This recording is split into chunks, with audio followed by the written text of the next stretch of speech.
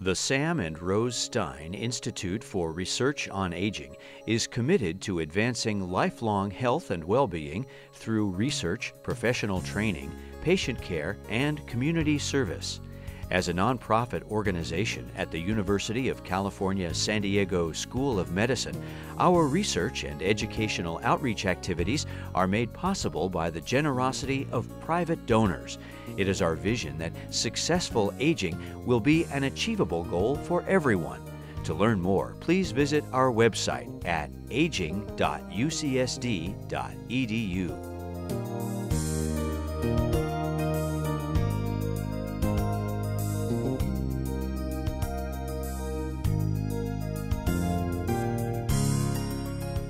Welcome to the Center for Healthy Aging's um, public lecture series. Uh, for those of you I haven't had a chance to personally meet, my name is Julie Avanzino. I'm a program representative for the Center for Healthy Aging. And the Center for Healthy Aging focuses on health and well being through innovative research, um, training, and also community outreach. This event is one of our many public outreach purposes that we do, and our work, including this public lecture series, is supported entirely through donations. I want to take a moment here and thank each of you who have supported us throughout the years. Our work wouldn't have been possible without you. We look forward to advancing this exciting work together with you. And with more for more information about our center and for how to donate, please visit aging.ucsd.edu. Without further ado, I'd like to introduce our speaker for this evening, Dr. Heather Hofflich. Heather is a professor of medicine at UC San Diego. She provides endocrinology and primary care for adults. She has a special interest in osteoporosis, thyroid, and women's health issues. Dr. Hofflich is consistently named top doc in San Diego Magazine's Physicians of Exceptional Excellence.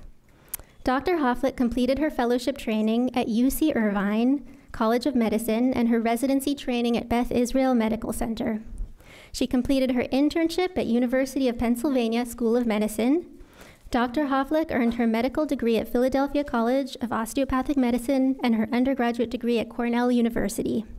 She is board certified in internal medicine and endocrinology, diabetes, and metabolism. Please help me in welcoming Dr. Heather Hofflich. What I'm going to do today is a little different than I've done in prior years because I think we have a lot of new information and I want to make sure that everyone absorbs it well. I'm going to talk mostly today about, um, we'll start and describe osteoporosis to you.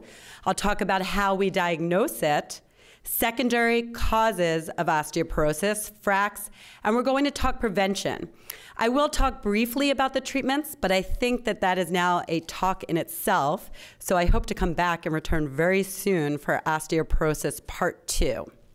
So let's get started and talk about the definition of osteoporosis. So it's a skeletal disorder characterized by compromised bone strength predisposing to an increased risk of fracture.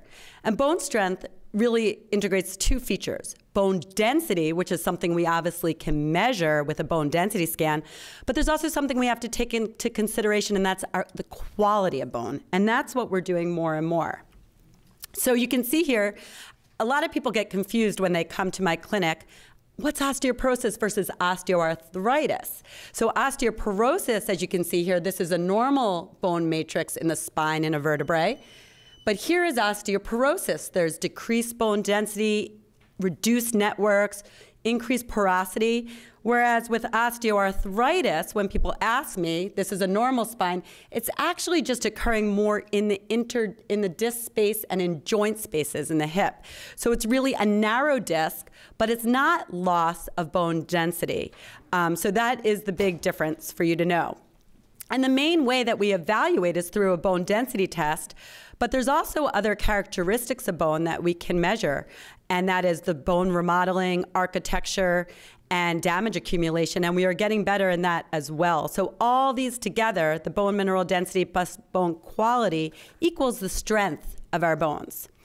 So I always bring this up. I think osteoporosis is an important topic. This is a slightly older slide, but it's really important to know that we there's really a high incidence of osteoporosis compared to other disease states that are very common. And so you can see here the rate of osteoporotic fractures is much higher. And why is this important? Well, fractures are associated with an increased morbidity and mortality, meaning an increased risk of infection, death, problems associated with a fracture. So it's very important that we identify and treat people at risk. And so it's common. About one in three women over 50 will experience an osteoporotic fracture in their lifetime, as well as one in five men. And this is really important that we look at this population and figure out how we can identify this. Another important thing that we're learning is that a first fracture over the age of 50 is really important. A wrist fracture is an indication that perhaps, as you can see here, over the next five to 10 years, your rate of fracture, your risk for having another fracture is very high. So it's important that when you have a fracture, you talk to your primary care doctor and you alert them that you had a fracture. And hopefully you will get a bone density and get care from that because it's important that we identify people as risks. So the first fracture is very important and should be and is an event where we can help diagnose and treat. So why are we worried about fractures? Well, look at the compression fracture of the spine. There's many different types. You might hear of these wedge and crush fractures, but really what's happening is this is when height loss occurs and pain. Fractures are a downward spiral. They're associated with pain, height loss, problems. So we want to prevent these in everyone, and that's why we're doing bone density scans and assessing risk. The other big thing, which can be a problem, is a hip fracture. And as we know, hip fractures increase the risk for problems, infections, and even death. So these are there are many different types of hip, hip fractures diagnosed on the area where it occurs, but it's very important that we prevent spine, hip, and all types of fractures.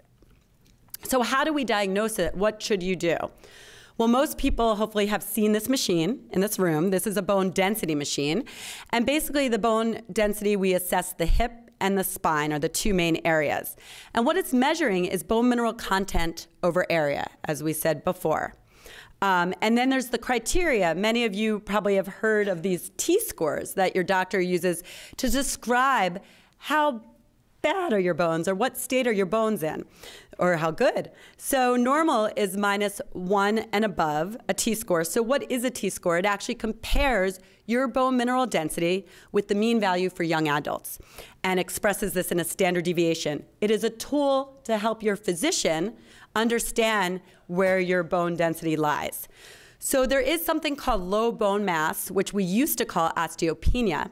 And actually at UCSD, we're getting very good now at not using the term osteopenia um, and really referring this to low bone mass. And this is if you have a T-score of minus 1 to minus 2.5. The diagnosis of osteoporosis is if your T-score is less than minus 2.5. So that means minus 2.5, minus 2.8, minus 3, anything lower, that is diagnostic of osteoporosis. Now, if you have what's called a fragility fracture, that is a fall that that from a standing height or something that really shouldn't cause a fracture. For instance, you twist and you have a fracture, you cough and you have a fracture, or they pick up a fracture on your x-ray, that's a fragility fracture. That equals osteoporosis automatically even if your bone density falls in the normal range. That is an osteoporotic fracture, and um, it is important that we identify and treat that. There is something on the bone density scan that we use in patients less than age 50. That's called a Z-score. When you're less than age 50, we compare you to someone of your own age, and that is termed a Z-score. Um, but typically we use this T-score to kind of put you in range and classify you. And I'll explain more. So this is the picture that I look at every day when I'm looking at my patient's bone density scan. I always look at the picture, the spine and the hips, and it helps me. I look at all these numbers and pictures, but I, I am certified and I know how to read these and to see what your values are. So this is something that when you have a bone density, this is the printout that your physician receives. Now, I just want to alert you and make you more knowledgeable in this area. Sometimes patients come in and they say, wow, my hips are low and I have osteoporosis, but my spine is really good and normal. But, and then sometimes people with normal spine are fracturing. And the important point is your physician really does need to look at the picture of the spine bone density. Sometimes, as you can see here, there's a lot of white in this area. And when you have arthritis, as we discussed before, which is very common part of aging, it actually falsely elevates that T-score on your bone density. And so it's not accurate in many patients. So it's very important that these pictures are looked at. So what I do when I see that is I know then I can't trust as much as I trust the hip bone density, but I can still get an estimate. But there's other values. Sometimes you might be asked to do a, a distal radius, a wrist DEXA if your spine cannot be evaluated. So there's other ways we can look at it, but it's very important that if your your spine values look really good, but your hips are not as good, that you look at these pictures to see. And so that's what uh, just an important point that comes up often in my clinic. A new thing that's very experimental, um, but actually is now in use. I have a few patients who are seen by clinics in New York City that they're using this now as a standard of care. We do have this at UCSD in our research facility. This is called a trabecular bone score, and hopefully this will be more mainstream for use as well. And this helps to get us around the issue of the spine bone density. It actually uses a computerized program. You take somebody that looks the same. You can see here they have the same bone mineral density, but they actually look at their trabeculum in the bone in the vertebrae. And here you can see with their variograms that they can pick out the arthritis and see that there's actually loose porosity, whereas in the other one of this bone density, they have a higher score. So this is becoming more useful to help us with those spine problems. It is available in a research center at UCSD, but once again, hopefully soon we'll have this as an availability to help us look at the spines that are problematic. So just something you may hear about in the future. So who should have a bone density scan? This is a very difficult question, and I've been tasked to look at this at UCSD for our quality committee because it's the guidelines are different and it's really hard. There's been new guidelines, this guideline. So, and there's all different societies that disagree. And so definitely um, i will give you my opinion on this but i will tell you that there is one criteria that is definite and the united states preventative task force the one who really makes the primary care guidelines recommends a bone density in women age 65 and older everyone should have a bone density. Now, men, it is more difficult. There have been mixed studies. Now, let's remember that men are just as much at risk for fractures as women, and men really do have fractures in their 80s, and the incidence is very high. So, I do agree with the National Osteoporosis Foundation's guidelines and some other guidelines that men age 70 and older should have a bone density scan. Um, and I do get these in my primary patients. I see a lot of male osteoporosis, and it's very important that we identify. Just as women, as they turn 50, their estrogen goes down. Men, too, as they age, testosterone declines, hormones decline at an older age. So 70 seems to be an ideal time that men should be screened. Obviously, with a fracture, anybody should be screened a first fracture um, after age 50. And then if there's a risk factor, um, you can start screening at an earlier age. The re- and, and risk factors we'll talk about in a bit. I mean, the reason we're sc- we're not screening as early, we did used to send everyone in their 50s. Some people might remember going a lot more often in the past, and we did that. But now we're treating a lot later and a lot different, which I'll explain later. So I really think 65, unless a risk factor, 65 is the starting age for females and men age 70. So this comes up, this question in my clinic: How often should I have a bone density scan? And there's not an easy answer for this as either. So, first of all, it is very important to have your bone density scan on the same machine and the brand, and preferably at the same location. So, for instance, at UCSD, if you've done it at La Jolla, you should continue in La Jolla, not go to the Hillcrest in the La Jolla, because they, they do a lot of quality testing, controls. So it's important to have it on the, at the same location so we can compare. Um, there have been some studies that say, well, maybe comparison isn't good um, and different data, but I think it is important that if you are at a clinic to have it at the same place. Now, Medicare has changed their guidelines and they allow us to get a bone density every two years. Um, now, sometimes we can get one sooner if you've started treatment. There are variabilities to that, but if you're doing okay, every two years. Now, recent studies have said if you are in your 50s and I'm sorry, in your early 60s, and even if you've had one earlier and you have that low bone mass, osteopenia, perhaps waiting five years is just okay as well. Um, and even 10 years, some studies say. So Um, it is very variable and individual, so I suggest you discuss with your physician about how often. Um, and you can see here they've done a, that recent study. That's what I'm saying, that if you're 50 to 64 without even osteoporosis, you don't need a screen if you got it younger until you're 65 again. So that's showing. There was a study on that. Now, there is something else. We do not do this regularly at UCSD, but some of you at other uh, institutions may get a lateral x ray along with your bone density screen. And that's called a vertebral fracture assessment.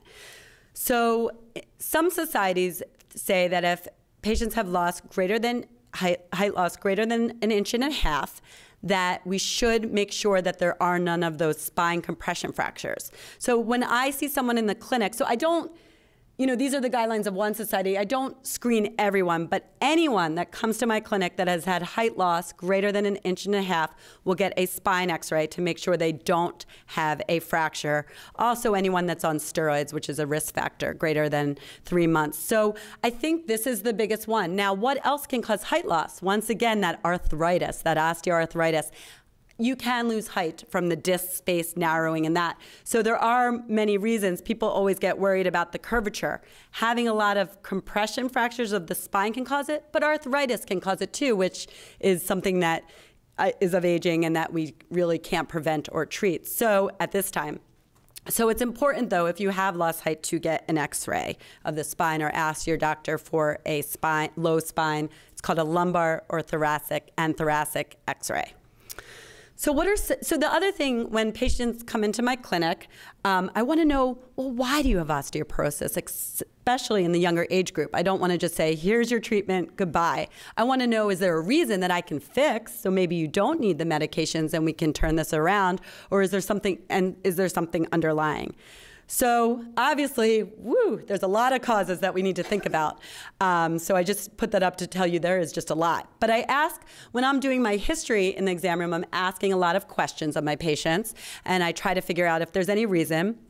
So there are many causes, and I'll just run through some of the things that you can think about. So, um, in men and in women having an early menopause, so in women age less than 45, um, if you've had an early menopause and did not go on hormone therapy, that is a risk factor. Now, most people now, if you've had a hysterectomy and early menopause, we do treat with hormone therapy until age 50. But if you've had an early menopause, that's a risk factor. And then in men, we check for testosterone because obviously low testosterone is a risk factor for reduced bone mineral density and osteoporosis.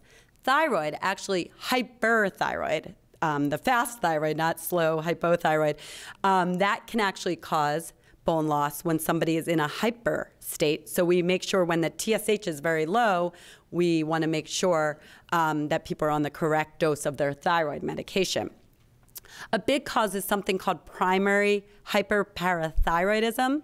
Um, and that is a calcium and parathyroid hormone disorder. Your doctor easily can check for that. There's calcium in the lab work that is done on routine exams, so they can see if your calcium is high, and that would be a clue to this. So it's very easy to pick up, but basically it's one of your glands, and um, it's secreting extra hormone that can be deleterious to your bone and cause bone loss.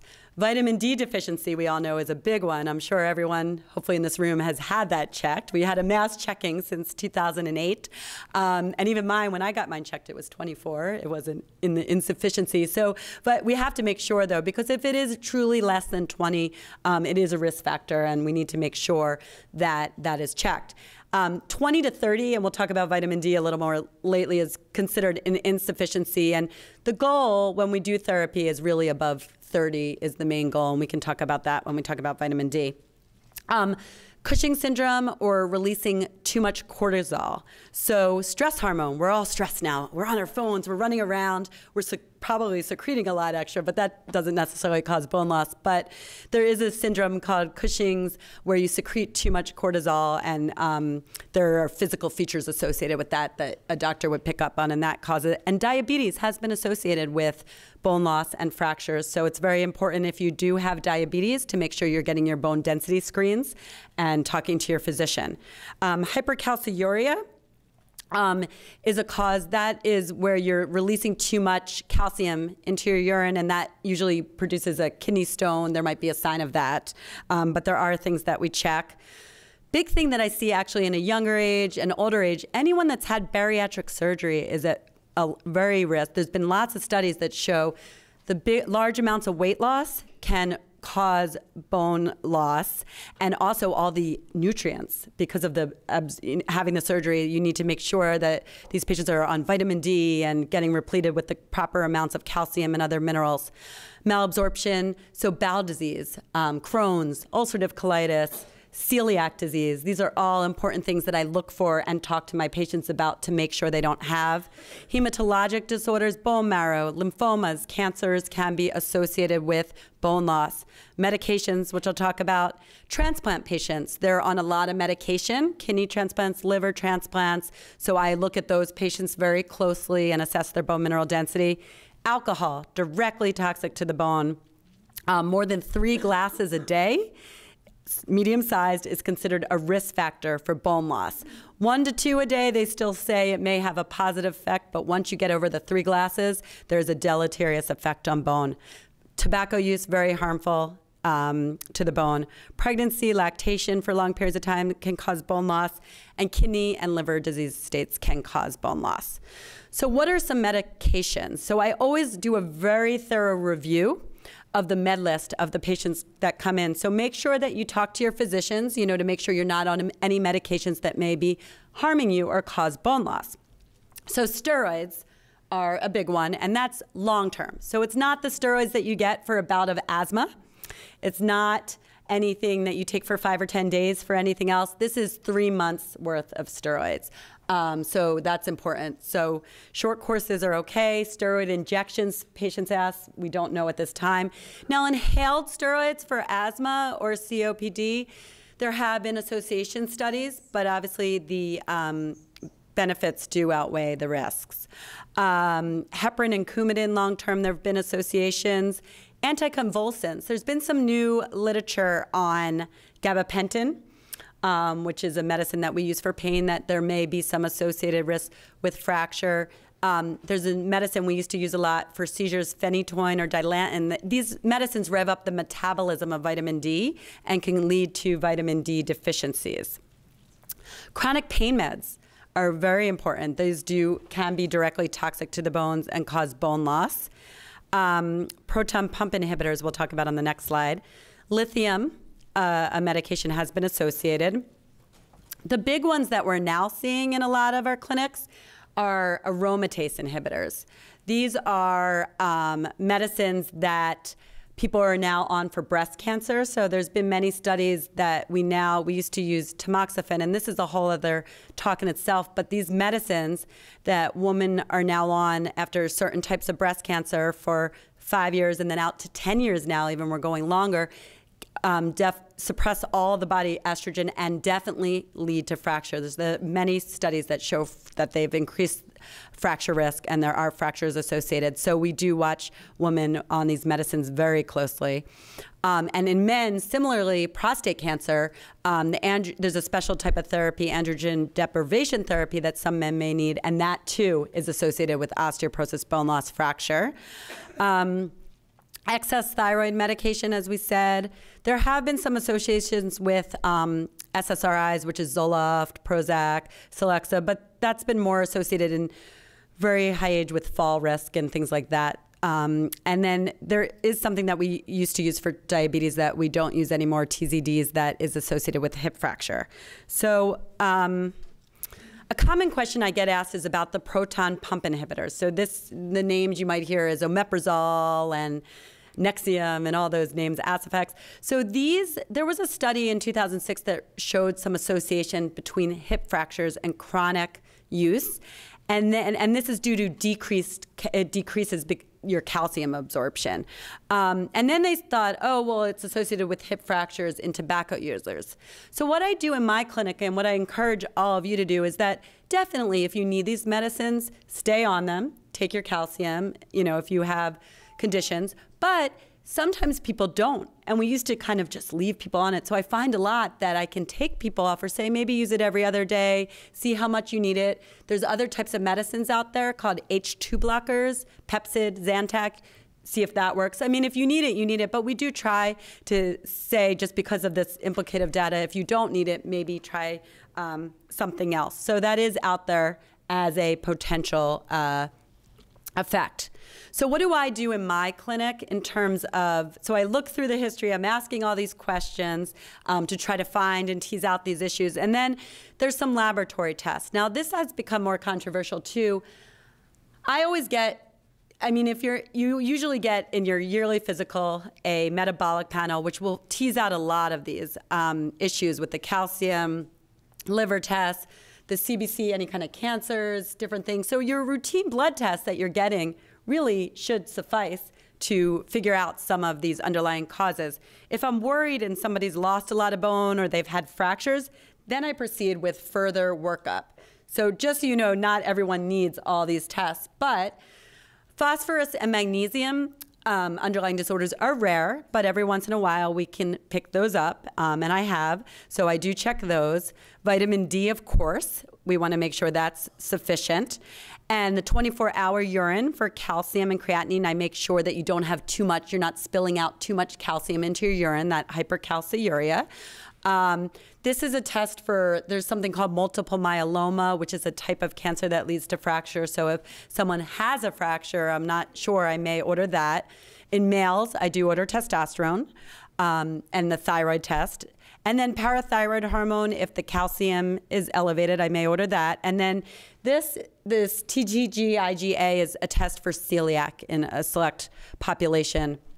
Um, this test I leave on there uh, the dexamethasone, that's to rule out any uh, excess cortisol syndromes, but I don't do that frequently because that's something you can pick up on the physical exam.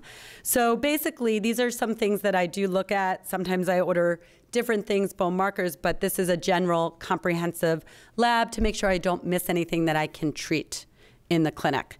So um, this is just a case. We work really closely at UCSD with our orthopedics team under um, Dr. Stephen Garfin. We've really, um, who's chief of our orthopedics, we've really set up a nice fracture program.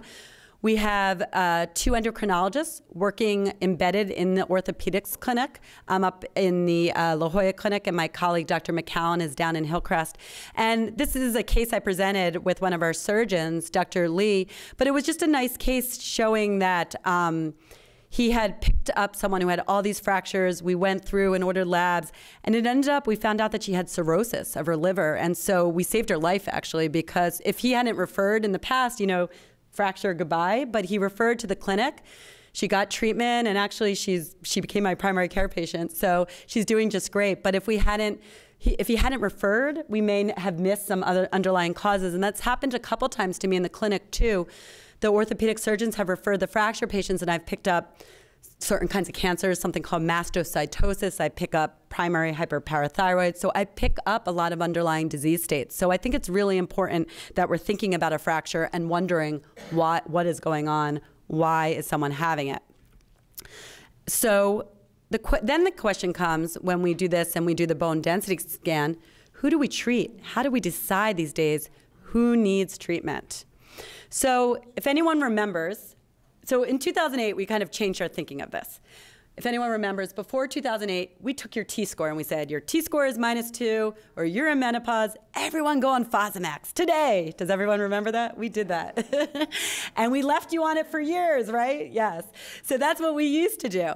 And then in 2008, we started to think about risk factors. Who do we treat? How do we treat? So we don't just take a blank number anymore and just put you on the medicine. We really think about it and think about you and assess. So obviously, though, if you do have osteoporosis and you're high risk, we should treat.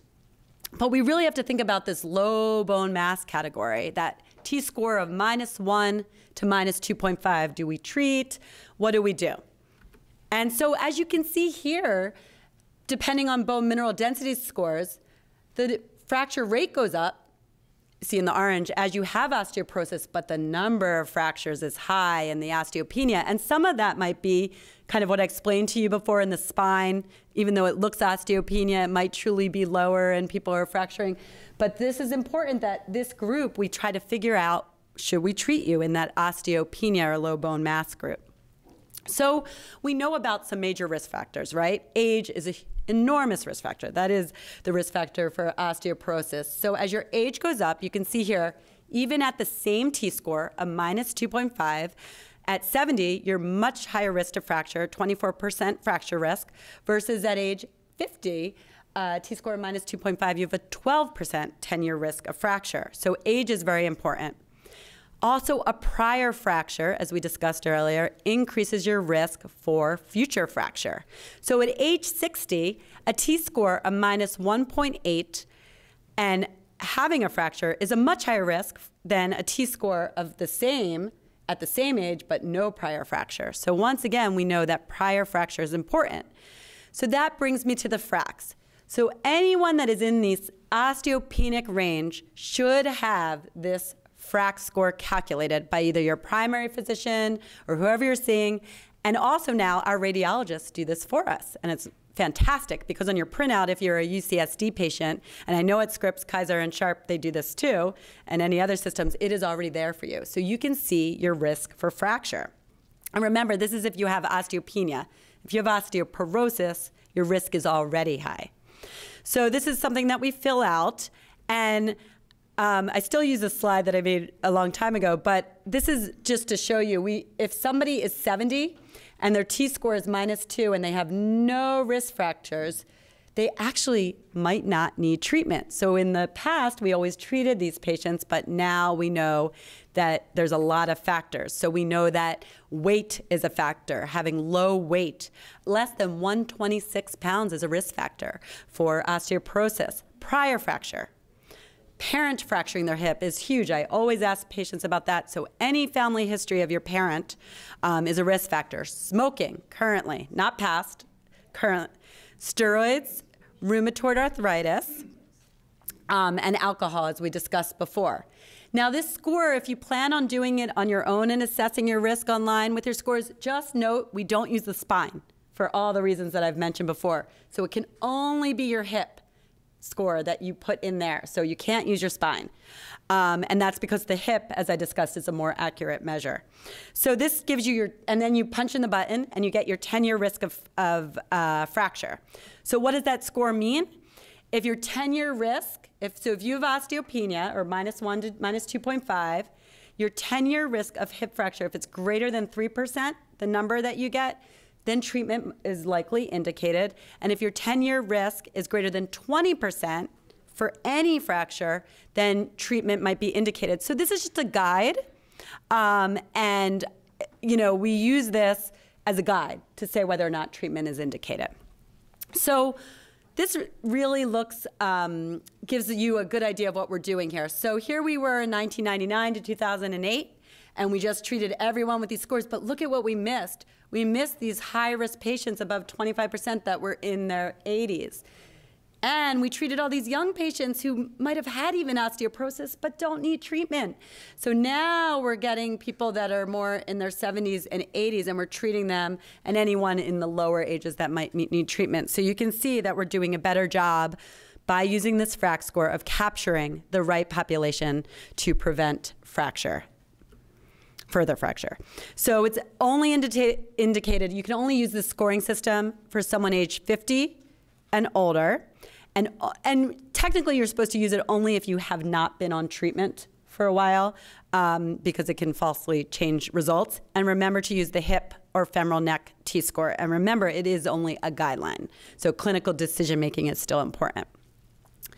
So, what do we do um, to prevent osteoporosis. What are some of the things that we can do? So there's a lot, and I will go through it, and we can talk about what you can do to help prevent it. So, calcium. So these are the current recommendations. Um, 1,200 milligrams daily for women older than 50, 1,000 for men older than 50, and 1,200 for men over 70. And the goal now is we try to obtain our calcium from food sources if we can. So that's changed a lot. I bet a lot of people here were put on the 1500 milligrams a day, told to take it three times a day, breakfast, lunch, and dinner, and for many years. So now we've changed this. We say try and get it through food um, if you can, because what we realized is perhaps there's an association with all this calcium. So some people were taking a lot of calcium plus dietary calcium, and perhaps there was a risk of that depositing into the heart and causing coronary artery disease. That being said, there's been a lot of conflicting data since that time saying, no, I think that we're actually okay and this may not be. But for that reason, we are taking a step back and saying 1200 max, get through the diet, and then um, through food, and then supplement if needed. So, this is something I can give everyone at the end. This is on the National Osteoporosis Foundation website www.nof.org. This is a great website. There's so much information. So I encourage you to look at this website. Um, and this is on there, and I'll, I have a handout. But this is something that I encourage my patients to go home and do, um, you know, and just make sure they're getting enough. So, for instance, if you look at a container of milk, you can see that it's 30% in an eight ounce cup. So that equals 300 milligrams if you drink that whole cup. Almond milk, there are also fortified foods that are great sources of calcium. Almond milk, breads, lots of different things that you can do. Orange juice. So, almond milk, for instance, has a very high quantity of calcium, 500 milligrams. Um, and then you automatically get a 250 a day. So I always tell my patients if you're drinking one glass of milk at 300 and you add 250, you already have one calcium supplement, 500 milligrams. And then if you get other food sources, cheese, yogurt, some greens, um, you're probably getting your 1200. So there are a lot of people I know who avoid dairy. And so, in that case, you should supplement um, if needed, and it's okay. So, some people might have a little bit of um, food sources and need one supplement. But I think now we've moved away from the two supplements, and most people just, if they're having a healthy diet filled with calcium rich food, either need none or just one supplement a day. So, that's where we are. So, what type? Patients often ask me this what type of calcium? I go to the food store at CVS, there's millions. What do I do? Costco? I don't know. So, actually, the goal, the thing is, we really don't know. There's no type that is better than the other, but there's some tricks. So, calcium carbonate needs to be taken with food for best absorption. So, calcium carbonate is something that's in Tums, or you really have to look at your label and see what you're taking. Calcium citrate does not need to be taken with food and can be taken in any type of environment. And so we do like that if you are on that proton pump inhibitor, we do prefer the calcium citrate. That can be taken at any time of day. Um, but does one work better than the other? No, as long as you take it the right way. And then, as you know, it can come in gummy form and in chocolate form and in tablets and powder now and all kinds of things. And that's fine. Whatever you like is great, um, as long as you're getting it, we say. So there's all different types. As I said, these are the main types. Um, and there's a lot, a lot of my patients like there's bone up and all different kinds online, but really just make sure you're not going overboard and make sure um, you're taking the right type. So Another thing that comes up commonly in my office is patients come in, I say, please bring your bottles of calcium. And sometimes they come in and you can see here it's so tricky. So look at this one. Two tabs equals 400 milligrams, but this one, one tab equals 600. Even today, I had someone come in that was taking 10 tabs just to equal 600 IUs of vitamin D. And she hadn't read the label and she was vitamin D deficient. So I don't think she realized it. So I think you have to look at your labels really closely, bring them into your physician if you have any questions. But I find this all the time that people are not taking the right doses or sometimes too much. So please look at that. And it's very, different. Everything, every type of calcium is different. So that it is very tricky. So please look at your labels. So, vitamin D, another important building block to uh, bones and prevention. And I do want to say before I move forward with calcium and vitamin D that there have been some studies in the last few years that have been very conflicting, right? Some say you need this, some say that they don't reduce fracture. So, my take on everything. Um, while there have been a lot of observational studies that show that there's been some studies that show, remember, calcium and vitamin D have never um, been shown to, they're not a treatment. They haven't shown to uh, reduce the risk of fracture.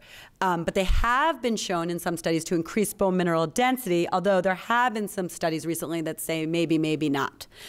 That being said, I do think if we're on a low calcium diet, we're going to be at risk and we're going to probably realize 10 years from now that we probably should be at least taking the minimum. So that's why get it in your diet.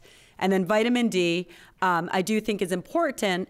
You do need a supplement um, to get to the right level, which I'll discuss. Now, sunlight um, obviously is a good source, but then our dermatologists do not like us. But and even in San Diego, there's been studies that we are deficient despite sun, but we wear a lot of sunscreen here, right? Yes. So that does inhibit the rays from being absorbed. So I always say to people, measure your vitamin D. You don't necessarily need it. I have people that do just fine. Um, so really, the rec- I followed the guidelines. I know there's a lot of people out there that thought, you know, we thought a lot. We thought, oh wow, when it first started, it's going to cure breast cancer and cure heart disease, and this is going to be our end all. And I hope it is, but right now, we don't know.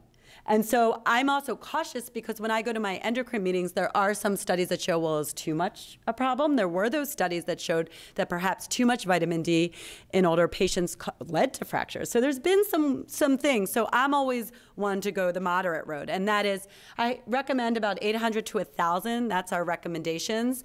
Um, and then max dose that's truly recommended is 4,000. Now, there may be some people who need more malabsorption, different things, celiac you know, this is within the range. Um, so what level do I attain? Well, I just like my patients to get over 30 to 32. This whole thing about treating to a level of 50, this, we don't know. I can't tell you today that there's one level. The real studies were done showed that less than 20 was actually when fractures occurred, and this 20 to 30 is insufficiency. I bet most people out here, the average person, when I was first checking in 2008, most people were in their 20s to 30s range, and you know, who we don't know, but we do know that as you approach your 30s, it reduces this level of parathyroid hormone. So we think that 30 is somewhere where you should be above that. So um, that's what I aim for, and that's what I like to see in my patients.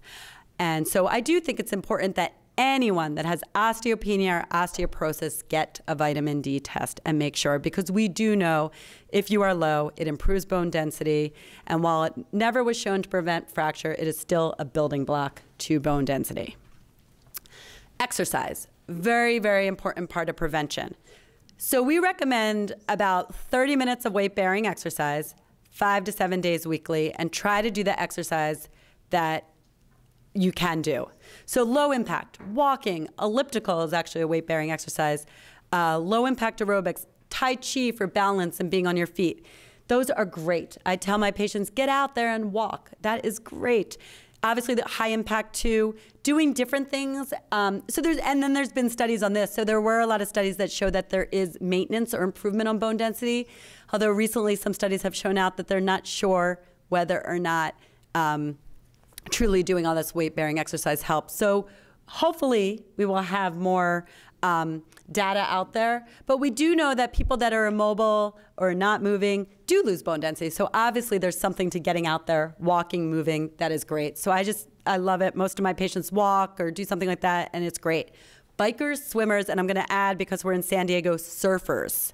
Surfers, wow, I do see a lot of those male surfers that are not doing anything but surfing. And so, bikers, they're not walking in between. So, if you are a biker, please get out there and walk a little bit. Swimmers, walk. You need to be on your feet for a little bit because we do see some osteoporosis associated with these activities. Those are not weight bearing activities. Um, muscle strengthening exercises. I get a lot of questions about that what does that mean? Why do we have to do the weights and, you know, walk? So muscle is important, and I'm going to address that later. We're actually doing a study at UCSD looking at this. It's called sarcopenia, where as you age, your muscle mass around the bone actually declines. So we want to kind of keep our muscles strong. When you fall, you want to have padding around your bone. It helps with the networks. So muscles are very important. Do as a little, you know, a little nice weights resistance training at Target, buy some light weights, do the best that you can, um, or gym. So these are good to keep your muscles alive and healthy. Now, physical therapy can be very important. Another thing that I assess is balance, right? Falls. Why do fractures happen? 75% of all fractures happen because of falls. We want to prevent that. So physical therapy can be very helpful. I send a lot of people. There's a woman, a physical therapist at UCSD, Lauren Hermes, who specializes in physical therapy and for osteoporosis and bone disease. So we have someone that does a lot of training with patients here. Um, orthotics. Um, and they can develop, develop treatment plans to focus on weight bearing exercise. So, even a visit with a physical therapist, if needed, may be helpful. And of course, fall prevention is a huge part. That's what I hear all the time. When we hear fractures in the orthopedic clinic, I tripped over the vacuum cleaner cord. I fell at night out of my bed. I walked to the bathroom and didn't have the light on and sat down and fractures, you know, lighting, mats, rails. So just it's very important. I hear a lot about tripping and falling, and so fall prevention is a good way um, to prevent fracture. So this question comes up a lot. What about caffeine? So actually, thanks to our very own Dr. Elizabeth Barrett Connor, who I believe many of you know, who did the Rancho Bernardo trials, the big osteoporosis trials here at UCSD early on, showed us that it's actually okay. It's not caffeine that's the culprit. Um, so coffee is okay as long as you're getting your adequate calcium. And tea, there is actually some evidence that, that was reported at um, ASP, one of our bone societies a year ago that black tea may help. Then again, that was in very high quantities, like six, six cups a day. So more to come on that. Um, soda uh, cola, so there was a 2006 Tufts study that showed that the phosphoric acid, specifically, this isn't seltzer water, in the colas um, at three cans, eight ounce cans or greater a day, did produce bone loss. So just some evidence. You know, I do have people who come in that tell me they're drinking a liter a day, so maybe you want to cut back to one. You know, these are just some evidence, but soda is the culprit. It's not caffeine that we know of today. So that's some good news. Um, and then I will end here. I really always talk about the treatments, but we've become so much more complex in our therapies. And I know you all probably want me to talk about that, and I will. I will come back. But I have decided that it's really a two part talk. So I'm going to mention some generalizations um, just so you understand a little bit about our therapies when you're going to the physician. Um, so, most of our therapies, these are your bone cells. And osteoclasts um, break down your bone, and osteoblast build up your bone. And so most of our therapies that we have inhibit the osteoclast. They stop bone breakdown. And that's the bisphosphonates and denosumab, Prolia, uh, most of our therapies. This one, we now have two therapies. We have teriparatide or Forteo, and um, something just came out recently called abaloparatide. That's a new medicine that also works in a pathway of formation. But we've been using um, teriparatide for a long time now. It's been out over 10 years. It's great, and it is the only therapy that stimulates new bone building and new breakdown. So that is a, a and all the other ones target the the osteoclast. So I actually didn't update this, but there is that one new one. But basically, these are all our therapies that we have. Um, so we have, we don't really use ibandronate anymore or Boniva. We have alendronate, the oral, bisphosphonates, IV. We have something called denosumab or Prolia and Forteo, and the new one, um, abaloparatide, um, which I told you. And then there's one that that was supposed to be coming new, but we are waiting for FDA approval. So, in the interest of time, I would love to come back and talk to you much more in detail about all those treatments, and that talk would probably take about 45 minutes to an hour. Um, so today I just wanted to update you on the latest in prevention. But I do want to tell you some neat things we have at UCSD. We do have shared medical appointments for osteoporosis, uh, which I run, where you can come in a group setting. Um, we do have a bone health education group. So if you feel you want to come um, and talk about this, I'm actually giving the next talk, and I will talk about therapies. Um, it's the first Wednesday of every month, and I have an email list. Um, so if anybody wants, um, I didn't list my email in here, but you can contact me. I run an email list about this bone health group, and we meet and we have a curriculum throughout the year. So we have our Liz Stimson, who's our wonderful orthopedic nurse practitioner who works with Dr. Garfin's team. She's great. We run the gr group, the bone visits together, and she does a talk on fractures and is really helpful in everything we do with bone here at UCSD. Um, we have Deb Kado, another one of our endocrinologist who comes and talks about treatment, Karen McCowan. We talk about calcium, we talk about vitamin D. We have Diane Schneider, who many of you may know, who comes and talks about the latest topics. So throughout the year, it meets once a month. Um, and there's information on our osteoporosis website at UCSD.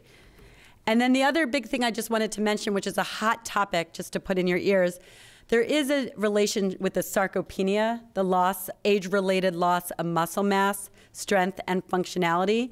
And we are running a big clinical trial here at UCSD. Um, as I said, the, this is very important as you know, the muscles generate the mechanical stress to keep our bones healthy. So this is a new topic. If you go to any of the websites, they're really talking about that, um, and it is looking being looked at now. There is a medicine that we're looking at here called a myostatin inhibitor that actually improves muscle function in people with true sarcopenia. Now, how is sarcopenia diagnosed? It's diagnosed actually through a bone density scan, but you have to do it a certain way. We don't do that now, but I just wanted to put this because you're going to hear this term. I've been noticing it in newspapers and different things. It's a, it's becoming a hot medical topic, and especially in osteoporosis. So it is that muscle mass. Um, so we are running a clinical trial here for that to help and hope that improves, um, prevents falls, and helps with other things related to osteoporosis. So, any questions? Or comments. I do apologize. I know many of you may have come for the treatments and to hear all about them, and I'm more than happy to come back. But I think a lot of what we do now is more the prevention aspect and learning and learning the right questions to ask because I may put someone here on one of those therapies. I may give you a bisphosphonate or denosumab, but if your vitamin D is inadequate and you have some underlying cause, that needs to be identified first. So I think I wanted to explain that to all of you today because we don't just jump to the treatments. And so I think you needed to hear that, and I'm more than happy in the future if you ask to come back and do a whole treatment lecture. So thank you for your time. Thanks for the support of the Stein. Um, it's such a great organization, and I'm so honored to be able to talk to all of you today. So thank you, and I'll take questions.